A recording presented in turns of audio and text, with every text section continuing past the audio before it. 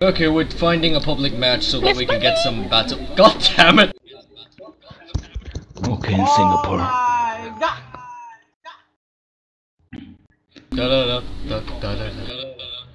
So I found a book that actually read The Adventures of Dong Bong Hong and Long. Oh my god. Oh my god. Yes! Dong bong. Bestseller! Bestseller!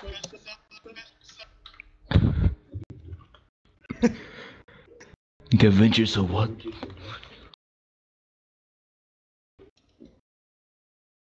Say this. Say what? Read it to me for bedtime, Bunny.